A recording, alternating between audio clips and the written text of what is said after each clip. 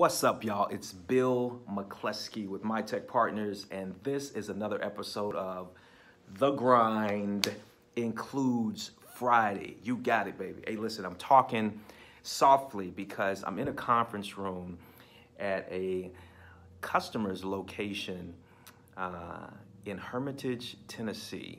But I just wanted to briefly share with you guys something that has been on my mind in terms of work and my question to you is, what is work? And you may be saying, like, what is work? Listen, man, I know what work is. I go to work every day. But after having conversations with sales professionals and entrepreneurs, I have come to the conclusion that a lot of folks don't know what work is. So when you're in sales and when you're building a business and you're trying to gain traction and things like that, I teach my team all the time that work involves two primary things. That's talking to somebody about being a customer or talking to somebody about being a partner. And when I say partner, I mean referral partner. So again, work is talking to somebody about being a customer or talking to somebody about being a customer getter, basically, right? Anything else is not work.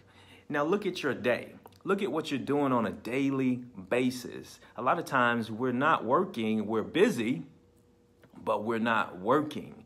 Now, as a sales guy or as an entrepreneur, do you have to do things that is not necessarily work as I just defined it? Yeah, absolutely. You got to do paperwork, right? You have to drive 30 minutes to an appointment to see a client, but driving to a meeting is not work.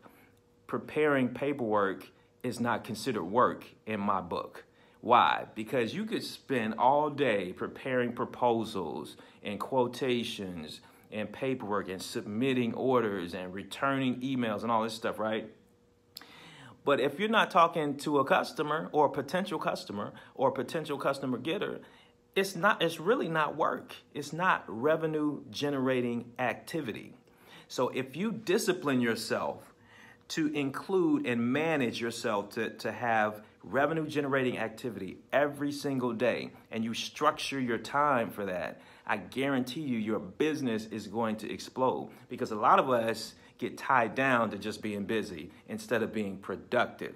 So it's about being productive and involving yourselves in work.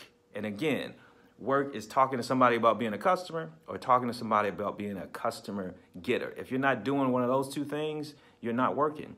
Now, you may spend, let's say you work eight hours, right? You may spend four hours of that day doing busy work, right? Checking voicemails, organizing your, your desk, emptying the trash, doing paperwork, all this type of stuff, right? Not work. But if you spend another four hours talking to customer or potential customers, talking to potential uh, referral partners and building relationships that's eventually going to bring in more business, that's pretty huge. 50% of your time spent working. Most of us, and here's the truth if you look at your day, you'll agree with me. Most of us are probably spending 10 to 20% of our time actually working. If, if that. So if you double, look at your schedule if you double the amount of time that you spend actually working, your business is going to blow up. It's going to change your life. That's all I got, y'all. Go out here, make it happen, work. Remember, discipline pays dividends, especially if you're disciplined working, getting customers and getting customer getters. Y'all have a good one. Again, it's Bill McCleskey with Mitech. Make it happen. Don't sleep.